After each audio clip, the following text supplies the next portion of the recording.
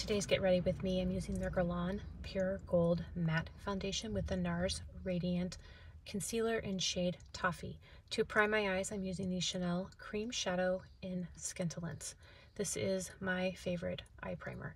The Guerlain Loose Powder, the Charlotte Tilbury Contour Wand in Light Medium, the Guerlain Bronzing Powder in Medium Warm, the Hourglass Cream Shadow Stick in Loyal, and the Natasha Denona Cheek Trio for powder blush and highlight. On my eyes today, I'm going to be using the Victoria Beckham uh, Smoky Eye Brick in Silk, also using the Chantecaille Luminescent Eye Shade in Cheetah.